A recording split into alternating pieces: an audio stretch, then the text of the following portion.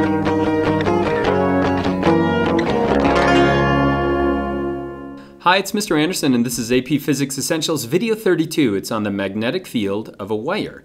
Scientists for years and years and years knew there was some link between magnetism and electricity, but they couldn't find it. Um, there were a lot of clues that pointed in that direction. If you take two magnets, let them go, north goes to south, just like positive goes to negative. If you pull them apart, there is a force between the two, and that force gets greater the closer those two magnets get together. It's just like charges. There's an attraction between the two, and actually Coulomb's law applies to both magnetic fields and magnetic forces and electric fields. Um, what they also knew is that magnetic fields are, are created and can be measured using a compass. So if you take a bar magnet like this and move a compass around it, you can see that it's lining up with that magnetic field. And so what they wondered is maybe if we take a compass and move it next to a charged object, as we move it around that charged object, it's going to point towards the charged object, but it simply didn't. And so it didn't seem like charges were producing any kind of a magnetic field. And then a brilliant uh, Danish scientist named Hans Christian Oersted um, moved the charge. And so what he's got here is a current. So we've got a current, or we know now that it's electrons that are moving, but the conventional current is going to be in this direction. And so what he found is that as the current moved through the wire, it actually deflected a compass. So that particle, that charged particle, has to be moving.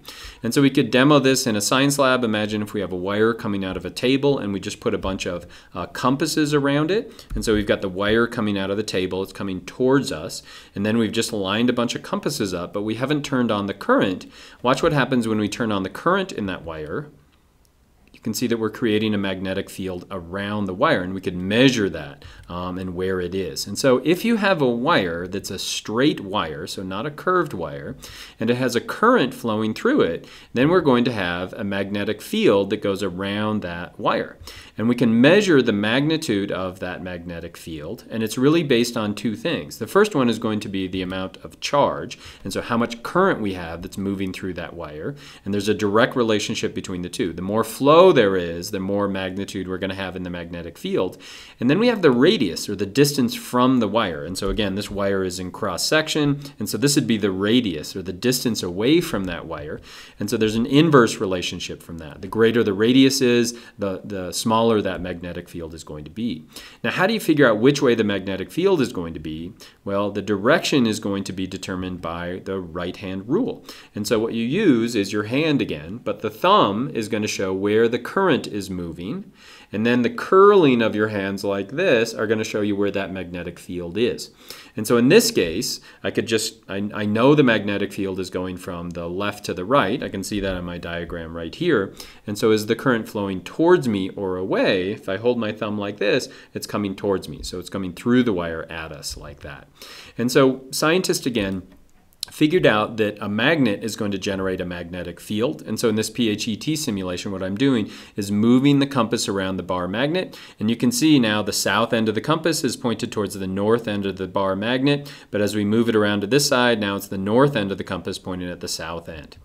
And so if we look at a uh, simple circuit, so what we've got here is a battery and then a wire that loops back Watch what happens now when we uh, put a compass and just kind of move it around this simple, this is just a simple electromagnet. You can see it's not affected by it at all. But once I turn the voltage on, then you can see it's really essentially a magnet. It's a magnetic dipole. And so as we move it around, you can see that compass needle spinning. And so if we turn on the magnetic field, you can see where those field lines are going to be. And I turn the electrons on as well. You can see it's being attracted or we're creating a magnetic field. Watch what happens if I turn off that current, it goes to zero, you can see that there's no magnetic field anymore. If I move the compass, it's not going to respond. Let's move it in the other direction. You can see now we've got those field lines again. What's going to happen if we add more wires? Well, we're adding more current, and so watch what happens to the electric field. It's getting greater and greater and greater over time. And so here's that right-hand rule. If we've got uh, current moving through a wire, this is conventional current, all you do is just point your thumb in the direction of where that current is moving, and then as your fingers curl around, it's going to show you where that magnetic field is. And so right here, we've got current going up, so I'm going to put my thumb up, and so then we have the magnetic field that's turning around like that. Say the current's going in the other direction, magnetic field is going to go in the opposite direction.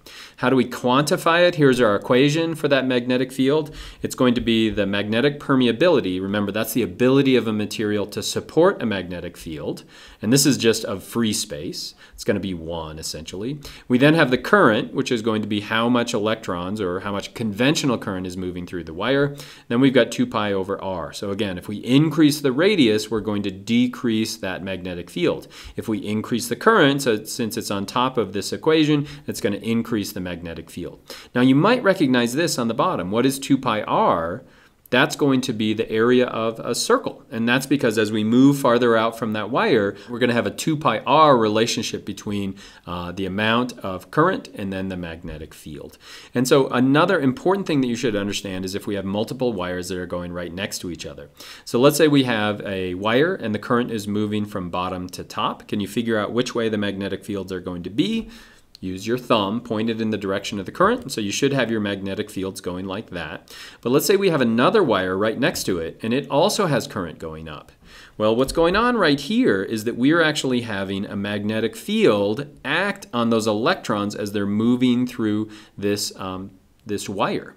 And so we can figure out the direction in which that force is going to act. And so we're going to use our other right-hand rule. Remember, that's this right-hand rule where we point in the direction of the movement of the particle. We then have our magnetic field be represented with our middle finger, and then the force is going to be your thumb. So it looks like that. So what we've essentially got is the, the current in this direction. The magnetic field is going to be in that direction. And so we're going to get a force. So again, we're pointing up like like that. I got a magnetic field like that, so the force is actually going to go into the middle of those two wires.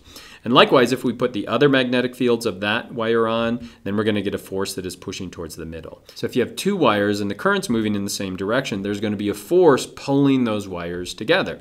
And so a way to think about that is if uh, the current flows together, then the wires go together. It's going to pull them together. Likewise, if we are going in the opposite direction, if they flow apart, then those uh, wires are going to be moving apart because we're going to get forces that are moving away from that center. And so did you learn to create a representation of a magnetic field around a wire or a set of wires? Again, always use your thumb and the more current we have, the greater that field is and the larger that radius is, the smaller that magnetic field is going to be. I hope that makes sense and I hope that was helpful.